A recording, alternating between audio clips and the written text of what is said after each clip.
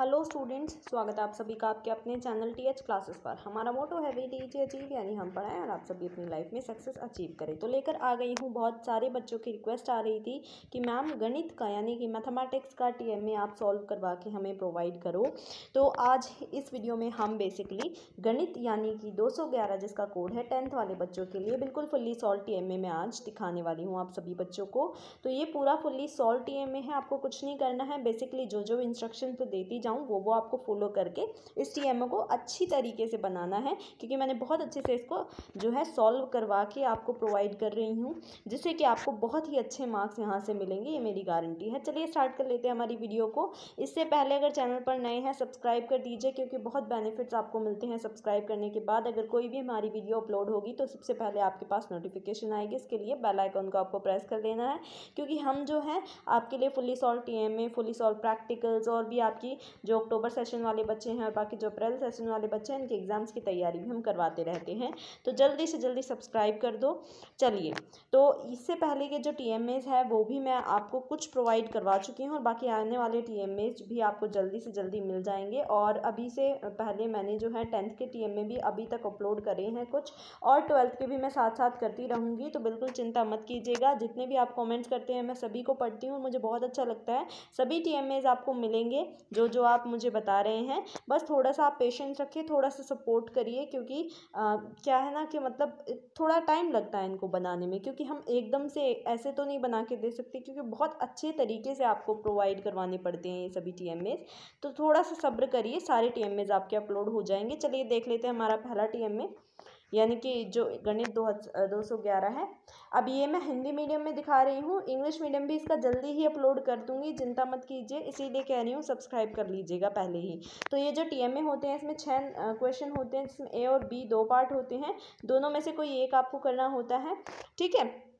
और ये जो होते हैं, ये आपको प्रैक्टिकल शीट्स तो इस तरीके की शीट्स आप कह सकते हैं, वो आपको लेके आनी है नियर बाय स्टेशनरी से और उसमें आपको ये बनाना है। ब्लू और ब्लैक दो पेन्स का यूज़ करना है, बाकी आप चाहें तो हेडिंग के लिए स्केच पेन्स का यूज़ कर सकते हैं और बाकी कोई भी पेन एक्स्ट्रा आपको यूज़ करने की ज़रूरत नहीं, क्योंकि असाइनमेंट है तो बहुत सिंपल तरीके से बनेंगे। ठीक है तो अगर कोई ग्राफ वगैरह या कुछ भी आता है, वो सभी चीज़ें मैं आपको दिखाऊँगी और हैंडमेड है तो कोई दिक्कत तो आने वाली है नहीं। तो आप सबसे पहले पहले अपनी शीट पे क्या लिखेंगे? गणित दो सौ ग्यारह, यानी कि सब्जेक्ट और सब्जेक्ट का कोड इसके बाद शिक्षक अंकित मूल्यांकन पत्र, यानी कि इंग्लिश में इसको टी एम ए कहते हैं। वो लिखेंगे। एनरोलमेंट नंबर आप चाहें तो लिख सकते हैं, लेकिन ऑनलाइन आपके पोर्टल पर ही अपलोड होगा तो कोई चिंता की बात नहीं है ऑनलाइन ही आपको अपलोड करना है। सबसे पहला क्वेश्चन आपका देख लेते हैं तो ये आपको क्वेश्चन चालीस से चार शब्दों में है। तो ये मैंने वर्ड लिमिट का बहुत अच्छा खासा ध्यान रखा है, हालाँकि मैथ्स है तो वो तो क्वेश्चन के हिसाब से ही होगा, ठीक है? तो ये आपका दो नंबर का होता है। पहला पहला, दूसरा और तीसरा क्वेश्चन फिर अगले दो क्वेश्चन चार नंबर के और लास्ट क्वेश्चन आपका जो छठा क्वेश्चन है सिक्स क्वेश्चन छः नंबर का होता है, जो कि बहुत इंपॉर्टेंट होता है आपका और वो आपको बुक्स में भी नहीं मिलता, लेकिन आपने हमारा चैनल सब्सक्राइब किया है तो आपको तो बिल्कुल मिल जाएगा आराम से। तो सबसे पहले मैं दिखा देती हूँ, इसमें मैंने ए पार्ट चूज़ किया हुआ है, इसमें क्या बताना था मैं, पुनित जो है आपने बी को सही करने के लिए प्रातःकाल रोज सैर करने जाता है और अपने औसत कदमों को नोट करने के लिए फिटनेस ऐप का प्रयोग कर रहा है। तो उसकी एक, जो ये सारणी यहाँ पे बनाई हुई है सेम एज इट इज़ आपको बनानी है, ठीक है? बिल्कुल सेम बनानी है। ये सारणी, फिर उसके बाद फ़र्स्ट क्वेश्चन है, इसी में से कि पुनित के द्वारा सप्ताह में चले कुल कदमों की गणना कीजिए। आंसर आप यहाँ से लिखेंगे। तो ब्लू पेन से आप आंसर्स करेंगे और ब्लैक पेन से आपको क्वेश्चन लिखने हैं। तो पुनित के द्वारा चले गए कुल कदम है इक्कीस हज़ार पाँच सौ। इन सभी को हमने प्लस कर दिया। जो ये सारे थे ना, उनको प्लस कर दिया। ठीक है? लिख लीजिए आप। चाहे तो आप पॉज करके वीडियो को लिख सकते हैं या फिर स्क्रीनशॉट भी ले सकते हैं सभी क्वेश्चन एंड आंसर्स का। उसके बाद सेकंड सप्ताह में किस दिन वह सबसे ज़्यादा घूमा? तो आंसर हो जाएगा रविवार को। उसके बाद थर्ड है आपका, कि उसके द्वारा औसतन चले गए कितने कदम थे? तो पहले तो आप आंसर में लिखेंगे, ठीक है? कि चले गए कदम औसतन में, फिर उसके बाद ये जो है, ये आपका फॉर्मूला है और आपका आंसर यहाँ पर three zero seven one point four ठीक है? अब यहाँ पे मैं एक बात और जानकारी दे दूँ, जिस जिस बच्चे को पीडीएफ चाहिए इसका, ठीक है? वो हमें टेलीग्राम पे जो है हमारा ग्रुप है टी एच क्लासेस के नाम से, वहाँ पर आप हमें फॉलो कर सकते हैं। लिंक आपको डिस्क्रिप्शन में मिल जाएगा। ज्वाइन कर लीजिए ग्रुप को और पीडीएफ आपको मिल जाएँगे। लेकिन यहाँ पर एक बात मैं क्लियर करना चाहूँगी, ये जो पीडीएफ है, वो पेड हैं, यानी कि आपको नॉर्मल चार्जेस पे करने पड़ते हैं पीडीएफ्स के लिए और सभी पीडीएफ आपको अवेलेबल मिल जाएँगे। पर यहाँ पर आपको पर्सनली यानी कि टेलीग्राम पे पर्सनली टीएच क्लासेस के नाम से हमें मैसेज करना पड़ेगा, तब आपको ये पीडीएफ हम प्रोवाइड करवा देंगे। और एनीवेज यूट्यूब पर तो फ्री ऑफ़ कॉस्ट चल ही रहा है हमारा टी एम का सीरीज़ तो यहाँ से भी आप बना सकते हैं। उसके बाद सेकेंड क्वेश्चन आपका स्टार्ट हो जाता है, चालीस से चार शब्दों में ये भी आपका दो मार्क्स का है। बी पार्ट इसमें मैंने चूज़ किया हुआ है। यहाँ पे बिलियर्ड बॉल का पद तीर द्वारा, यानी कि पूरा क्वेश्चन आपको लिखना है, ठीक है? उसके बाद ये figure as it is same बनानी है पेंसिल से, ठीक? उसके बाद आंसर आप देख लीजिए, ये आंसर हो जाएगा। मैंने जो आंसर्स हैं, उनके साथ साथ जो भी चीज़ें लिखी हुई हैं, जैसे ये गिवन में क्या था, ठीक है? ये सारी चीज़ आपको सेम लिखनी है सेम तरीके से। पहले हमने बी का मान निकाल लिया। उसके बाद सी का डी का तो अभी सारा आपको सेम लिखना है। ठीक है? धीरे धीरे मैं वीडियो को चलाती जाऊँगी ताकि आप सभी क्वेश्चन एंड आंसर्स आराम से कर लीजिएगा। तो आपको फिर ये लिखना है। फिर हमने ई का मान निकाला और ए का मान निकाला। इंग्लिश मीडियम भी जल्दी ही अपलोड हो जाएगा और बाकी सारे टीएमएस भी आपके जल्दी ही अपलोड हो जाएँगे चैनल पर, इसलिए चैनल को सब्सक्राइब करना ना भूलें। और लास्ट में आपको लिख देना है कि सभी कोनों का मान क्या है? A B C D E तक, ठीक है? इसके बाद थर्ड क्वेश्चन स्टार्ट हो जाता है आपका, ये भी आपका दो मार्क्स में होता है। इसमें मैंने ए पार्ट चूज़ किया है, पहले तो आप क्वेश्चन लिख लीजिए, ये क्वेश्चन और इसकी फिगर ठीक है? फिर उसका आंसर मैं दिखा देती हूँ आपको, ये रहा इसका आंसर यहाँ से आपका आंसर स्टार्ट है। सब कुछ आपको एज इट इज़ लिखना है सेम चलिए, उसके बाद नीचे भी ये आंसर कंटिन्यू हो रहा है और थर्ड का आंसर यहाँ पर एंड हो जाएगा। ठीक?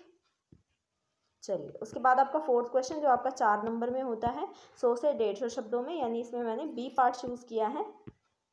ठीक है? बी पार्ट इसमें मैंने चूज़ किया है और नीचे इसकी फिगर बनानी है आपको। बिल्कुल सेम लिखिएगा। बिल्कुल भी आपको गड़बड़ नहीं करनी और अच्छी अच्छी हैंड राइटिंग में लिखना है, क्योंकि अगर आप अच्छी हैंड राइटिंग में लिखेंगे तो आपका फ़ायदा है, आपको अच्छे से अच्छे नंबर मिलेंगे। उसके बाद उत्तर यहाँ से स्टार्ट होगा। कोई भी जल्दबाजी मत करिएगा। सबसे पहले आप लिखेंगे, दिया गया है यानी कि क्या क्या हमें पहले से गिवन था। उसके बाद हमें क्या निकालना है इसमें? मान निकालना है एक्स वाई का। उसके बाद हल लिखना है, ठीक है? चलिए। तो पूरा हल आप लिखेंगे। पहले मैंने एक्स का मान निकाल लिया, बीस डिग्री। सेम लिखेगा। उसके बाद x का मान हमने लिख दिया बीस डिग्री और फिर हमने यहाँ तक y का मान निकाल लिया, ठीक है? ये y का मान हमने लिख दिया एक सौ तीस डिग्री। उसके बाद नेक्स्ट क्वेश्चन आपका फिफ्थ क्वेश्चन है। ये भी आपको सौ से डेढ़ सौ शब्दों में लिखना है। ये भी आपका चार नंबर का है। इसमें मैंने बी पार्ट चूज़ किया हुआ है, ठीक है?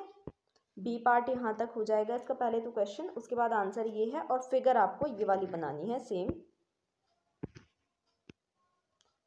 बहुत अच्छे से ध्यान से आप फिगर बनाइएगा। उसके बाद आंसर आपका लिखिएगा। ठीक है? सेम लिखिएगा आप। नीचे भी आपका जो है आंसर फिफ्थ कंटिन्यू हो रहा है। चलिए। आई होप इतनी बात आपको क्लियर है, इतनी क्वेश्चंस ये आपका फिफ्थ क्वेश्चन का आंसर यहाँ पे ख़त्म हो जाएगा। उसके बाद आपका सिक्स क्वेश्चन है। ये आपका बहुत इंपॉर्टेंट होता है, परियोजना यानी कि प्रोजेक्ट वर्क वाला क्वेश्चन जो कि आपका छः नंबर का होता है। बहुत इंपॉर्टेंट क्वेश्चन है, बहुत ध्यान से करेंगे आप। ए पार्ट चूज़ किया है मैंने इसमें कि जनसंख्या और परिवार की आय के संबंध में हमने अपने मोहल्ले के पचास घरों का सर्वेक्षण करना है। तो तालिका आपको सेम बनानी है। पहले तालिका बनाएँगे। देख लीजिए, तालिका इस तरीके से बनेगी आपकी। फिर नीचे भी तालिका आपकी कंटिन्यू ही हो रही है। ठीक है, यानी पचास घरों में हमें सेम तालिका बनानी है।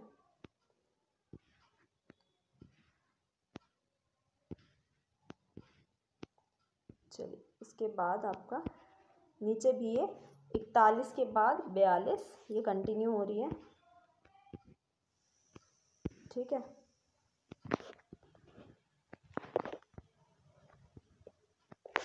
तालिका के एंड में आपको 245 कुल करके लिखना है। उसके बाद इसका फ़र्स्ट क्वेश्चन लिखेंगे। ये देख लीजिए ऐसे। ठीक है, इसका फ़र्स्ट पार्ट का आंसर पहले तो हमें लिखना है कि हमें इसका क्या करना है, सारणीबद्ध तरीके से प्रस्तुत करना है इस पूरी तालिका को जो हमने ऊपर देखी। आंसर आपको यहाँ से हो जाएगा, सारणीबद्ध तरीके से टैली मार्क में। ठीक है? तो कुल परिवार पचास। यहाँ पे आपका आंसर वन ख़त्म हो रहा है। नेक्स्ट आपका सेकंड पार्ट है इसका। ये आप सिक्स क्वेश्चन ही कर रहे हैं, उसके पार्ट्स हैं कुछ, ठीक है? जहाँ तक आपका सेकंड पार्ट का आंसर है, यहाँ से स्टार्ट होके यहाँ तक ख़त्म है। उसके बाद थर्ड जो कि आपको क्या करना है? ग्राफ बनाना है बार ग्राफ तो पहले तो आप यहाँ तक इसका क्वेश्चन लिखेंगे, फिर आंसर लिखेंगे। तो ये पूरा आपको bar graph as it is बनाना है। दिखा देती हूँ मैं आपको। ये रहा आपका बार ग्राफ, ठीक है? इसलिए मैं आपको कह रही हूँ, अगर आपको इसका पीडीएफ चाहिए तो कांटेक्ट ज़रूर करिएगा टेलीग्राम पर, ठीक है? जैसे कि आपको पीडीएफ मिल जाएगा और आसानी हो जाएगी आपके लिए। तो यहाँ पर आपका जो टीएमए है, वो हो जाता है कंप्लीट आई होप इस वीडियो से आपको हेल्प हुई हो। और हेल्प हुई है तो प्लीज़ वीडियो को लाइक ज़रूर कर दीजिएगा, क्योंकि लाइक में बहुत बच्चे कंजूसी दिखाते हैं। आप देखते हैं, हम आपके लिए बहुत मेहनत करते हैं और शेयर ज़रूर करिएगा अपने सभी साथियों के साथ, क्योंकि सबकी मदद होनी चाहिए भाई। सबको टी एम इसके फुल्ली सॉल्ड आंसर मिलने चाहिए।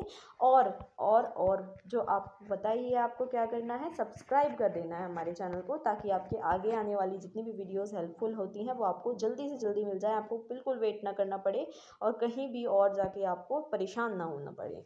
चलिए तो सब्सक्राइब ज़रूर करिएगा वीडियो को लाइक ज़रूर कर दीजिएगा। Thanks for watching